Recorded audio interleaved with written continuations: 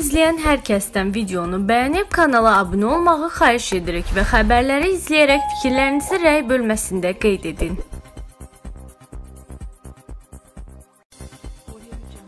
Rusiyalı sülh məramlılar Laçın şəhərini nəzarətə götürüb. Yeni Sabah.az xəbər verir ki, sülh məramlı qüvvələr Laçın dəhlizinə daxil olan Laçın rayonunda erməni hərbiçilərin və dinc sakinlərin qalmadığını açıqlayıb. 2020-ci il dekabrın 1-i Laçın rayonu heç bir insidentsiz Azərbaycana təhvil verildi. Sakinlər yerli administrasiya tərəfindən öncədən xəbərdar edilmişdi və şəhəri tezliklə tərk etdi. Hazırda Laçında dinc sakinlər qalmayıb. Üç tərəfli razılaşmaya əsasən Laçın şəhəri şəhəri Azərbaycana qaytarılsa da, Laçın dəhlizi nəqliyyat vasitələrinin hərəkətini təmin etmək üçün Rusiyalı sülh məramları nəzarətində olacaq, deyə açıqlamada deyilir.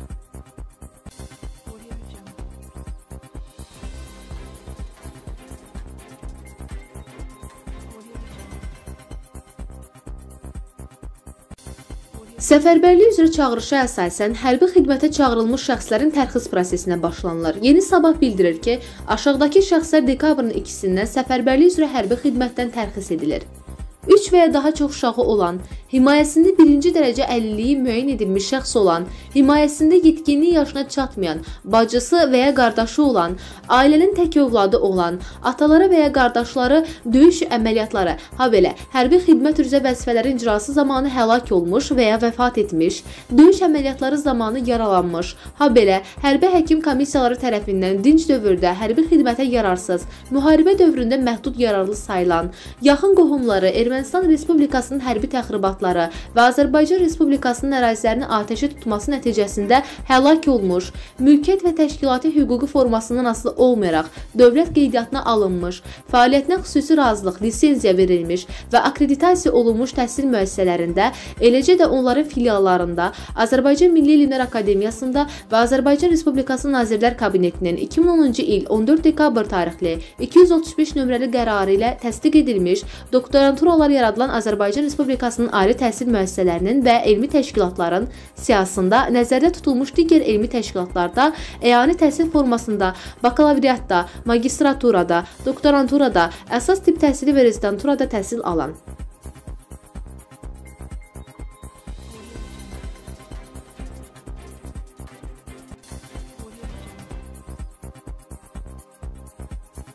Rusiya və Türkiyə ortaq monitorinq mərkəzinin qurulması ilə bağlı saziş imzaladı.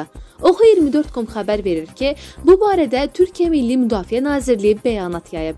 Qeyd olunur ki, noyabrın 11-də Türkiyə və Rusiya Müdafiə Nazirləri Hulusi Akar və Sergey Shoygu arasında razılaşmanın layihəsi onlayn formatda imzalanmışdı. Türkiyə-Rusiya ortaq monitorinq mərkəzinin fəaliyyəti ilə əlaqədar texniki detalların müzakirəsi başa çatdıqdan sonra yekun razılaşma imzalanıb. Mərkəzin ən qısa zamanda fəaliyyətə başlaması üçün işlər aparılır.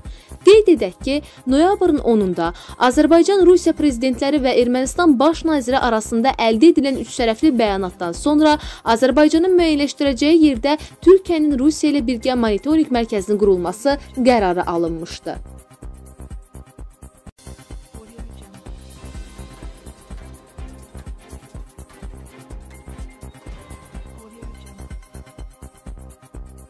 Azərbaycan Silahlı Qüvvələrinin Vətən müharibəsindəki tarixi qələbəsi münasibəti ilə Bakıda hərbi parad keçiriləcək. Yeni Sabah.az xəbər verir ki, paradın dekabrın 10-da Azadlıq meydanında keçiriləcəyi planlaşdırılıb. Ehtiyatda olan polkovnik hərbi ekspert Şair Ramaldonov məsələ ilə bağlı bildirib ki, paradın tarixi barədə hələlik məlumatsızdır.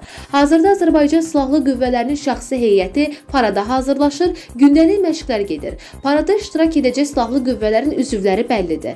Cənab Ali Baş Komandan hələ Azərbaycan Silahlı Qüvvələrinin 100 illiyi münasibəti ilə Bakıda təntənəli hərbi parad keçirilən zaman qələbə paradının anonsunu vermişdi və bildirmişdi ki, Azadlıq meydanına qələbə bayrağı gətirəcəyik. Ona görə də parad mütləq olacaq. Amma dəqiq hansı gündə bunu rəsmi qurumlar açıqlayacaqlar, bunu bilmirik.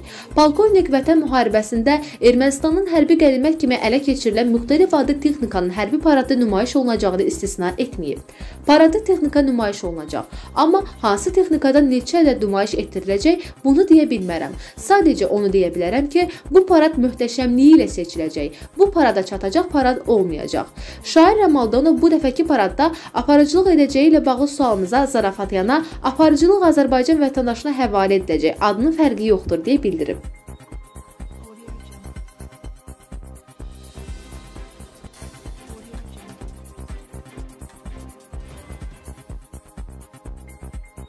Ermənistanın baş naziri Nikol Paşinyanın Rusiya səfərinin təxirə salınması erməni ictimai-siyasi mühitində müzakirə mövzusudur. Yeni Sabah.az xatırladır ki, səfər Nikol Paşinyanın Rusiya prezidenti Vladimir Putinlə təkbətək görüşünün alınmaması üzündən təxirə salınıb. Baş nazirin protokol xidməti bütün səylərini səfərbər etsə də Putinlə təkbətək görüşü razılaşdıra bilməyib. Bu barədə məlumatı erməni mediası yayıb. Siyasi analitiklər hesab edir ki, Putin sadəcə Paşinyanla görüşü rədd edib. Bunun səbəbi əlbəttə ki, baş nazir və komandasının qərbə yaxınlığı ilə əlaqədardır.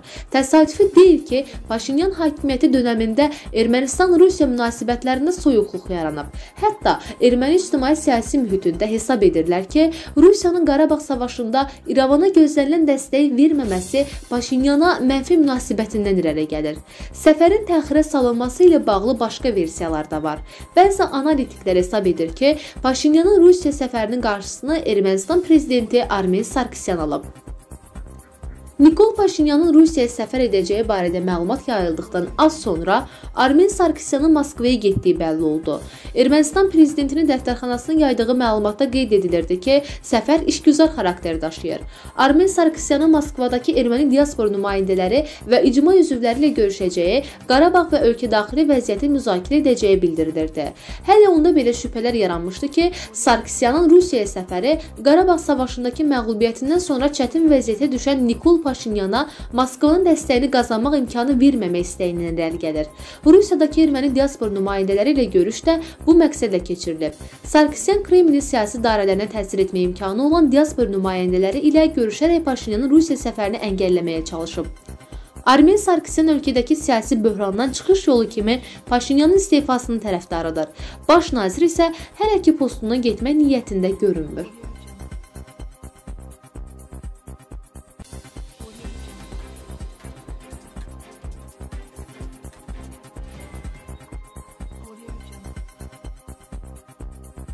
Noyabrın 10-da imzalanmış birgə bəyanatda göstərilir ki, Ermənistan ordusu Dağlıq Qarabağdan tamamilə çıxarılacaq və orada nəzarəti Rusiya sülhməramları həyata keçirəcək. Təbii ki, burada söhbət ermənilərin yaşadığı ərazilərdən və Laçın koridorunun bir hissəsindən gedir. Ümumilikdə Xankəndi, Xocalı, Xocavənd də daxil olmaqla Dağlıq Qarabağ Azərbaycanın nəzarətində olacaq. Oxu 24.com xəbər verir ki, bu sözləri redaktor Aza millət vəkili Elşad Birbəşiroğlu deyib. O əldə olunan razılaşmada ermənilərin yaşayacağı ərazilərin xüsusi statusunun olmadığını bildirib. Rusiya prezidenti Vladimir Putin də öz çıxışında Dağlıq Qarabağ və ətraf rayonların beynəlxalq hüquqla Azərbaycan ərazisi olduğunu bildirib. Əgər orada status məsələsi yoxdursa, Ermənistanın həmin ərazilərdə heç bir hüquqi təsiri yoxdur. Bir sözlə, Azərbaycanın digər rayonları hansı statusdadırsa, həmin ərazilərdə o statusda olacaq. Ermənilər Xankəndi və digər rayonlarda ancaq Azərbaycan qanunları çərçivəsində yaşayacaqlar. Lakin əvvəllər dövlətə qarşı təxribatlarda iştirak etmiş şəxslərin mövcudluğuna son qoymaq şərti ilə Güman edirəm ki, Rusiya sülh məramları Azərbaycanla əməkdaşlıq çərçivəsində bu məsələləri ciddi şəkildə nəzarətdə saxlayacaqdır. Bütün hallarda hesab edirəm ki, Azərbaycanın ortaya qoyduğu iradə qəbul edilib. Diqqət edin, sonuncu Rusiya sülh məramlı qüvvələri Azərbaycanın nəzarəti altında Xankəndinə getdi. Bu da onu göstərir ki, bütün proseslər Azərbaycan dövlətinin birbaşa nəzarəti altındadır. Bəzi məsələlər var ki, zamanla öz həllini tapacaq. Narahat olmağa əsas yoxdur.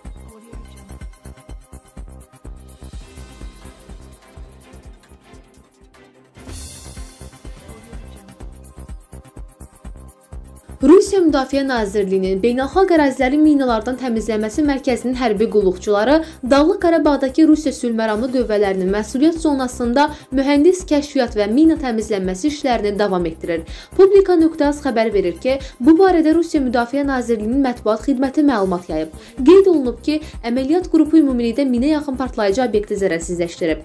Laçın dəhlizindəki elektrik xətlərinin bərpası ilə bağlı işlərin təhlükəsizliyi təmin olunub. Aşkarlanmış partlayıcı obyektlər atılmış atılmış və işlənməyən döyüş sursatları, xüsusi təzyiq edilmiş poliqona aparılır və məhv edilir.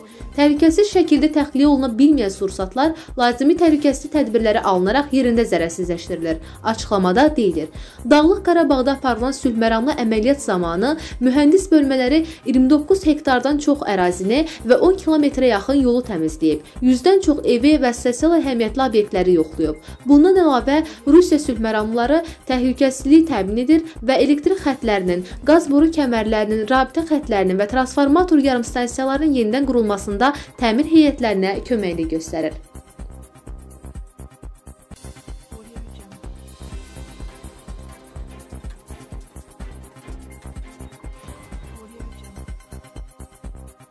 Əmək və Əhalinin Sosial Müdafiəsi Nazirliyi Azərbaycanın bütövlüyü uğrunda şəhid olanların ailələrinə və qazi statusu almış hərbiçilərə veriləcək təqaüdlərin məbləğini açıqlayıb.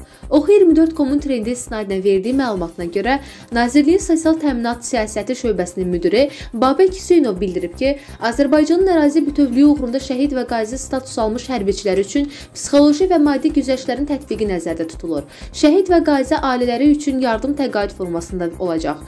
Babək Hüseynov əlavə edib edib ki, şəhid ailəsi üçün təqaüdlərin məbləği 300 manat, müharibə səbəbindən əlilliyi olan şəxslər üçün təqaüdlərin məbləği 1, 2 və 3-cü dərəcəyə uyğun olaraq 250, 230 və 210 manat müəyyən edilib.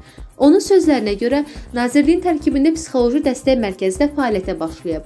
Bu dəstək müharibə zonasındakı vətəndaşlar, müharibə iştirakçıları, şəhid ailələrinin üzvləri və yaralanmış vətəndaşlar üçün dövlət hesabına təmin ediləcək. Bununla əlaqədar Sosial Xidmət Agentliyi tərəfindən qaynar xətt yaradılıb. Babək Hüseynov qeyd edib ki, psixoloji yardıma ehtiyacı olan şəxslər bu nömrəyə zəng etməklə dövlət vəsaiti hesabına həyata keçirilən dəstəkdən yararlana bilərlər. Qaynar xəttin nömrəsi 050 406 75 85'dir.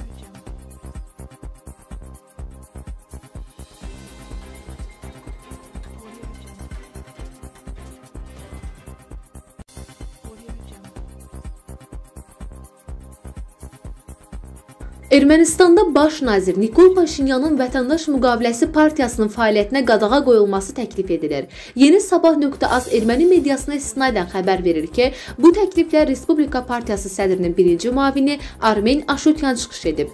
Müharibə ilə bağlı hərtərəfli araşdırma aparıldığı müddətdə bu partiyanın icra edici və qanunverici orqanlarındakı nümayəndələri vəzifə tutmaq hüququndan məhrum edilməlidir. Bu milli təhlükəsizlik məsələsidir. Çoxları görür ki, münaqişənin alovlanması toplanması və biabırçı sonluqla bitməsi barədə pərdə arxası sövdələşmələrin olmasına dair informasiyalar və təhlillər var.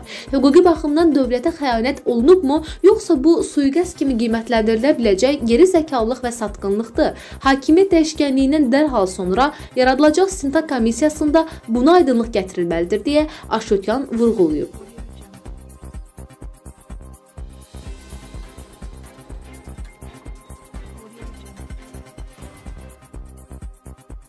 B Bütövlükdə azad edilmiş bölgələrin iqtisadi potensialı, kənd təsərrüfatı, turizm potensialı çox böyükdür. Biz bu potensialdan məharətlə istifadə edərək Qarabağ bölgəsini nəinki Azərbaycanın, dünyanın ən gözəl bölgələrindən birinə çevirməliyik və əminəm ki, buna nail olacağıq.